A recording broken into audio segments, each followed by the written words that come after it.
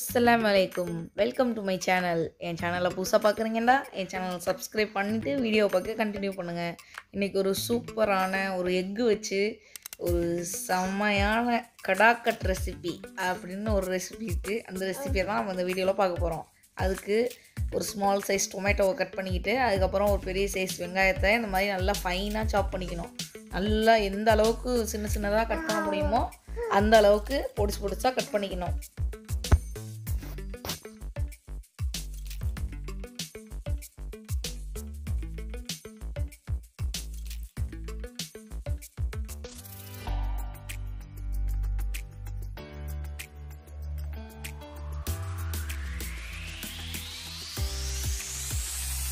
அப்புறம் ஒரு கடாயில் தேவையான அளவு எண்ணெய் சேர்த்து எண்ணெய் ஹீட் ஆனவுடனே நம்ம கட் பண்ணி வச்சுருக்கிற ஃபைனான ஆனியனை இதெல்லாம் ஆட் பண்ணி நல்லா வதக்கிக்கணும்.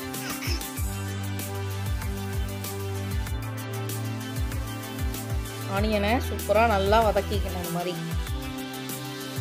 நீங்கள் பெருசு பெருசாக வதக்குறீங்கன்னா பெருசு பெருசாக ஆனியன் கட் பண்ணியிருந்தீங்கன்னா இந்த டிஷ்க்கு வந்து கொஞ்சம் பார்க்குறதுக்கு நல்லா இருக்காது. அதனால தான் நம்ம வந்து சின்ன சின்னதாக செய்கிறோம் ரெகுலர் ஆம்லெட்ஸ் மாதிரி ஆயிரும். அதனால தான் ஃபைனாக சாப் பண்ணி அப்புறம் நம்ம கட் பண்ணி வச்சுருக்கிற டொமேட்டோவையும் இதில் ஆட் பண்ணி நல்லா வதக்கிக்கணும்.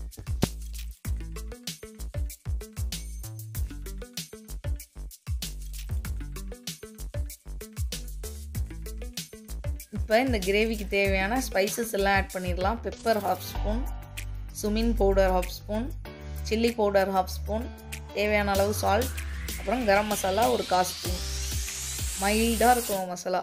அப்போ தான் வந்து ரொம்ப டேஸ்ட்டாக இருக்கும். அதிகமாக நீங்கள் சேர்த்துக்கக்கூடாது இந்த கிரேவிக்கு மசாலாவோட பச்சை வாசம் போகிற அளவுக்கு நல்லா வதக்கிக்கணும்.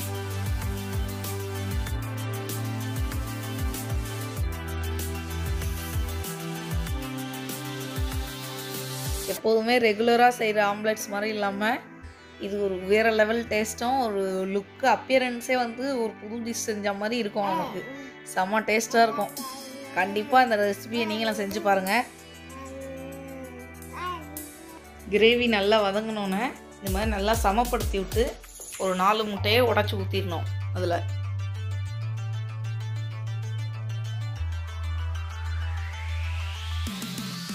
உங்களுக்கு எக்ஸ்ட்ராவாக வேணும்னா உங்கள் தேவைக்கேற்ப நீங்கள் முட்டையை ஆட் பண்ணிக்கலாம். அது மாதிரி வெங்காயம் தக்காளியும் அதிகமாக ஆட் பண்ணிக்கலாம். இப்போ முட்டையை ஆட் பண்ணி நம்ம. இதை நம்ம திருப்பி போட போகிறதில்ல இதை வந்து ஒரு லிட்டு வச்சு க்ளோஸ் பண்ணிடணும் இந்த முட்டையை. ஒரு லிட் வச்சு க்ளோஸ் பண்ணோன்னே இந்த முட்டை மேலே ஒரு ஒயிட் லேயர் மாதிரி ஃபார்ம் ஆகி சூப்பராக குக் ஆயிரும். அடுப்பை வந்து மஸ்ட்டு சிம்மில் தான் இருக்கணும். இல்லைன்னா வெங்காயம்லாம் கரிஞ்சிக்கிறதுக்கு வாய்ப்பு இருக்குது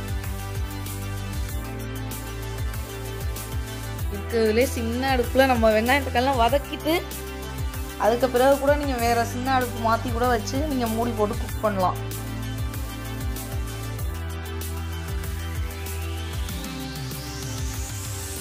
ஏன் ஒரு ஹாஃப் பாயில் மாதிரி குக் பண்ணிட்டு அதை வந்து நம்ம இப்படி சைடில் இந்த தோசை திருப்பி வச்சு ஃபுல்லாக எடுத்து விட்டுக்கணும். இதை வந்து இப்படியே நீங்கள் திருப்ப வந்து ட்ரை பண்ணக்கூடாது.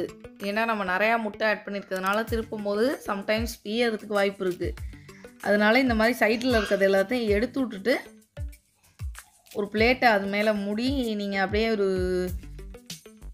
கிச்சன் டவல் வச்சு பிடிச்சிக்கிட்டு சுட்டுக்காமல் அப்படியே திருப்பிடணும். எம்மியான கடாக்கட். செம்மையாக ஒரு ஷார்ட் பீரியடில் செஞ்சு முடிச்சிட்டோம். இதை இந்த மாதிரி கட் பண்ணி இப்படி தான் சர்வ் பண்ணோம் ஒரு ஹாஃப் பாயில் இருக்கும் போது தான் இதோடைய டேஸ்ட் வந்து வேறு லெவலில் இருக்கும். உங்களுக்கு திருப்பி போட்டு குக் பண்ணுங்கிற மாதிரி இருந்தாலும் நீங்கள் இந்த மாதிரி பிளேட்டில் ட்ரான்ஸ்ஃபர் பண்ணிட்டு அதே கடாயில் திருப்பி போட்டு கூட நீங்கள் ஃபுல்லாக குக் பண்ணிக்கலாம் இருக்குது பட் இந்த டேஸ்ட்டில் சாப்பிடும் போது அந்த டேஸ்ட்டே வேறு லெவல் ஸ்பெஷலி இந்த ரெசிபி வந்து சாம்பார் ரசம் அப்புறம் கறி குழம்பு சாதத்தோடு வச்சு சாப்பிட்றதுக்கு செம்ம டேஸ்ட்டாக இருக்கும். சப்பாத்தி கூட கூட சாப்பிட்லாம் இதை. டேஸ்ட் வேறு லெவலில் இருக்கும். இருந்துச்சு. நாங்கள் சாப்பிட்டப்ப. நீங்களும் மஸ்ட்டு இந்த ரெசிபியை ட்ரை பண்ணி பாருங்கள் செஞ்சதே செஞ்சுட்டு இல்லாமல் வித்தியாசமாக ஒரு தடவை செஞ்சு ட்ரை பண்ணி பாருங்கள் இந்த ரெசிபி பிடிச்சிருந்தா லைக் பண்ணுங்கள் மறக்காமல் சப்ஸ்கிரைப் பண்ணுங்கள் அஸ்லாம் வலைக்கம்